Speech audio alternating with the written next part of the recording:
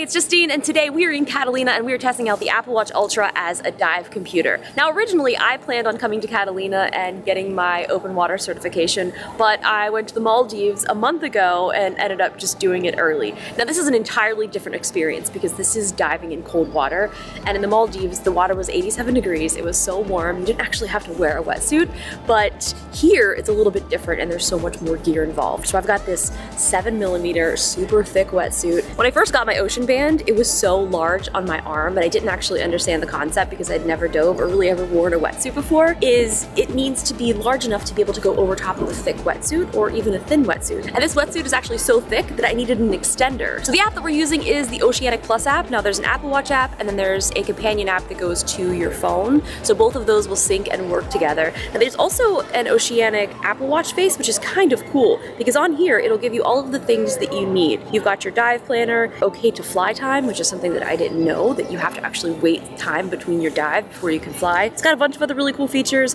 but now, my friends, it's time to go hop in the water. So, let's go.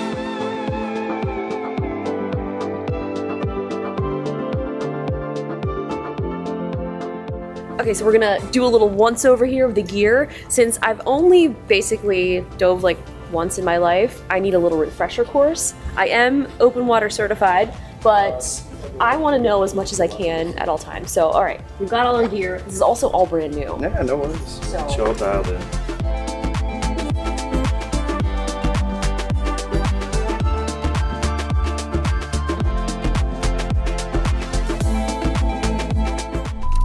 Oh, I don't remember all this part.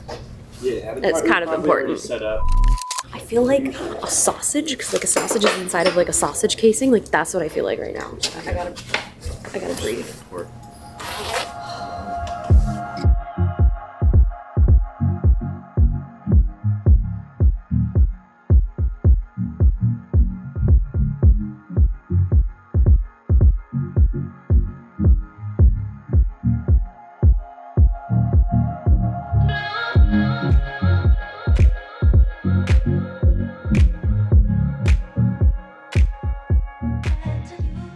Right, I think everything's good. Let's hop in.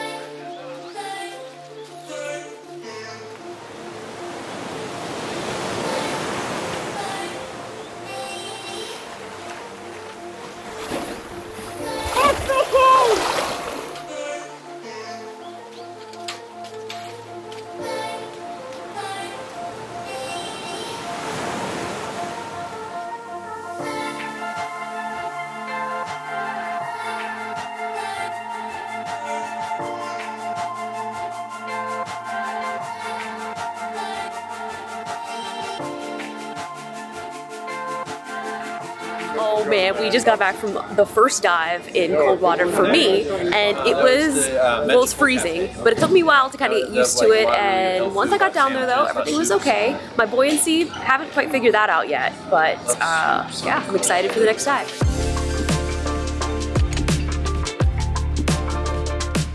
All right, dive briefing time. So I've got the Oceanic app up and we have our location planner.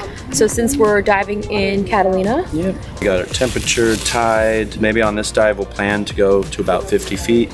Aim for the swim platform. It's one of the reef wrecks in the park. so no deco planner, we just did a dive. So what does this kind of determine? Um, it's going to tell us how long we can stay at our current depth for our next dive. Uh, takes into account what we just did, and so we'll say we'll enter the info how long we're going to stay on the surface until the next dive, and we'll add in the depth that we want to go to. And it'll tell us exactly how much we can do. All right, looks like we're ready to go out. It's like I got a plan. Let's go get wet. Let's do it.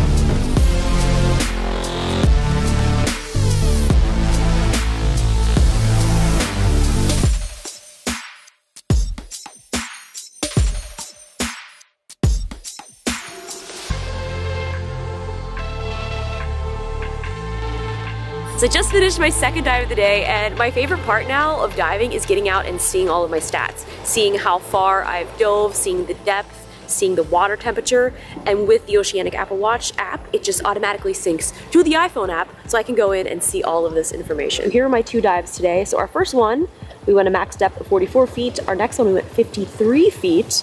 And it's cool because this shows you your depth. I was struggling on this first one trying to get my buoyancy. We dove for 34 minutes. Water temperature 58 degrees. Oh, so cold. That's where we are. So I can go in and add some things about the dive like the visibility, the surface condition. There was a little bit of current. Visibility was not as good on this last dive as it was on the first one. And there we go. We are all logged for our dives today.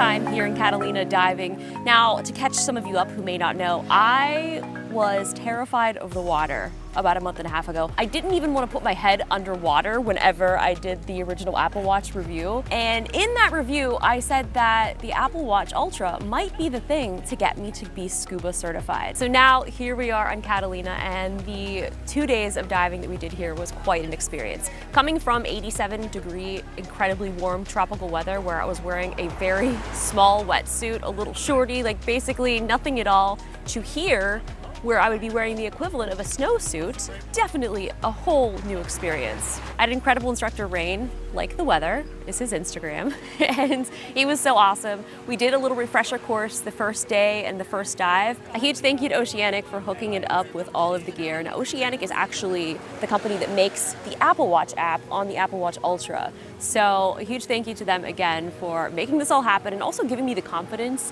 to be able to go out and do this in the first place. So to get to Catalina, we took the 6 a.m. ferry, so I got up at like 3.30. So that first day of diving, we were all absolutely exhausted. At 3.30 a.m. this morning, I did not feel like having breakfast, so got this on the ferry over.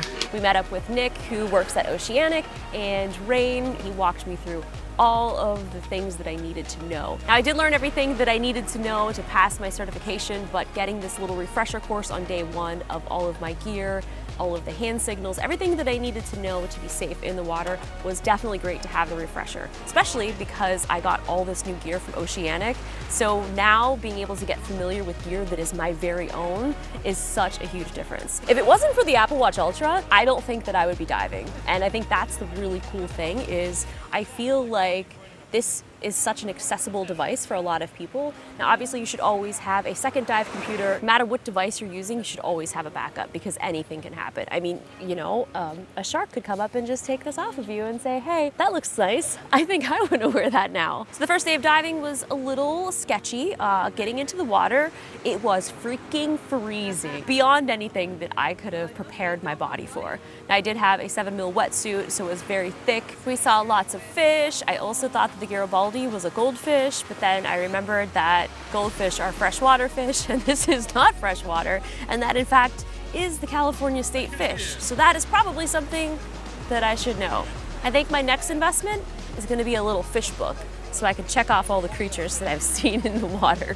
The really cool thing about diving in Catalina are these kelp forests. I mean, this kelp is just so remarkable. I mean, it's coming all the way from the bed of the sea to the top and it's just floating through there.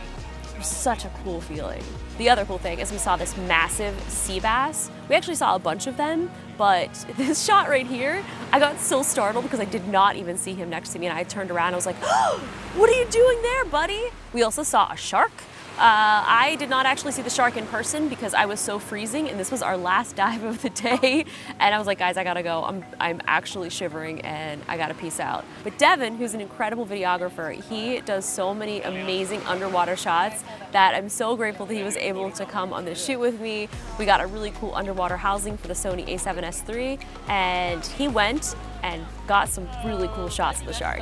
Now the Oceanic app is great for snorkeling as well. So if you're not a diver, you can actually use this to snorkel. You can track your entry points, your depth, and how far you swam. And that's actually just free with the Oceanic app, but if you do want to dive and get access to your dive planning and tissue loading, there is a subscription, which is kind of great because for a lot of people who may not be frequent divers, the Apple Watch is great and you don't have to buy a full dedicated dive computer. You've already got one right here on your wrist. Now my second day of diving was so much more fun. I was so much more comfortable because the first day, that first dive, I was still getting used to the gear, figuring out my buoyancy. I thought I would be a lot more terrified than I was. It actually wasn't bad at all. I really thought that the cold water was gonna affect me more. I did get some cramping in my legs. My feet were just like feeling a little weird. Like my whole body just kind of felt different. And once I got used to that, it made the second day that much better. But we had so much fun and we saw so many cool things. And I think my favorite thing was this little Garibaldi who was building its little nest. And anytime anything would get in its little area, it would go and pick it up and move it out immediately. It was actually really, really cute. Did a little exploring. I got to use Rain's flashlight and really see what I could see. My favorite thing that I saw though was this huge freaking lobster. I mean, look at this thing. It's massive. It's got a little tentacle out, like ready to come and get you. One of the things that I really like about this though is it gives you an alert when you need to make your safety stop. So it gives you a countdown of how long you need to stay at that depth before you completely ascend to the top. So if you find yourself at the surface and you need to go grab some weights or I don't know, you forgot something or you have to go to the bathroom, it will give you a countdown that will let you go back down to the surface and continue that dive. So you won't have to count it as a second dive. So right now we've got 27 seconds to hop back in. We're not gonna be doing that just yet because I'm really chilly.